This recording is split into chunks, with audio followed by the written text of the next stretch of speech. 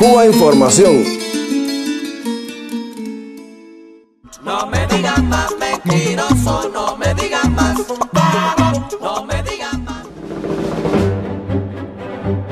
Medios de todo el mundo publicaban la noticia. El gobierno de Cuba ha decidido poner en libertad a 3.522 personas presas como gesto humanitario ante la visita del Papa Francisco a la isla.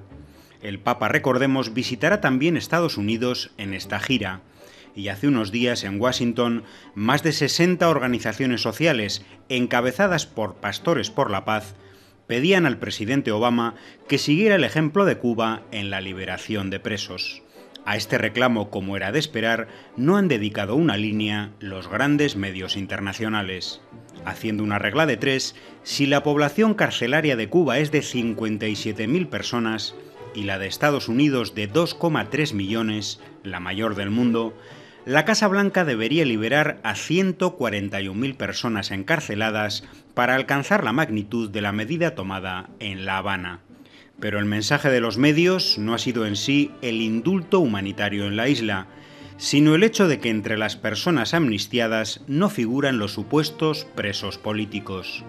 Ante los micrófonos de agencias y televisiones de todo el mundo, el disidente Elizardo Sánchez Santa Cruz reclamaba la libertad de 60 personas presas en Cuba por razones políticas o por procesos políticamente condicionados.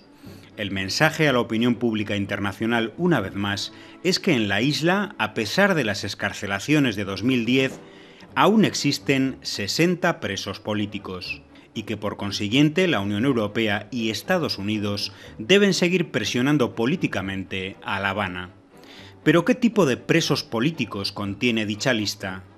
En ella se incluyen, por ejemplo, a los mercenarios salvadoreños que en 1997 pusieron bombas en hoteles de La Habana y asesinaron a un turista, a una persona que mató a cuatro vigilantes para robar un yate y emigrar a Estados Unidos, a cuatro exmilitares que en 2007 ejecutaron a dos rehenes en el intento de secuestro de un avión y a decenas de integrantes de comandos de ultraderecha que procedentes de Miami cometieron numerosos atentados en la isla. ¿Por qué los medios no hablan de esto? ¿Por qué no nos dicen que estas personas cumplen pena por acciones violentas, algunos con gravísimos delitos de sangre? Si aceptamos como preso político la definición de Amnistía Internacional que afirma que es todo preso cuya causa contenga un elemento político significativo, podríamos encuadrar a algunas de estas personas en dicha categoría, pero según el mismo razonamiento, ¿por qué dichos medios se niegan a denominar presos políticos a los más de 500 miembros de organizaciones armadas en las cárceles españolas? ¿Y por qué esos medios rechazan la consideración de presos políticos, o en este caso de conciencia, a las decenas de independentistas vascos que están en prisión por militar en partidos ilegalizados y no por acciones de violencia.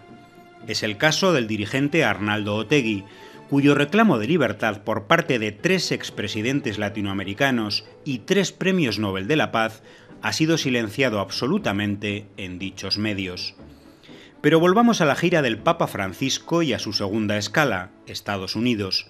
Leemos que el estado de Arkansas, uno de los 31 estados con pena de muerte y que no la aplicaba desde hace 10 años, ejecutará a cinco presos en las próximas semanas. En contraste, Cuba, aunque aún la mantiene en su código penal, mantiene una moratoria desde hace 12 años. Pero esto tampoco será tema de análisis en los grandes medios internacionales.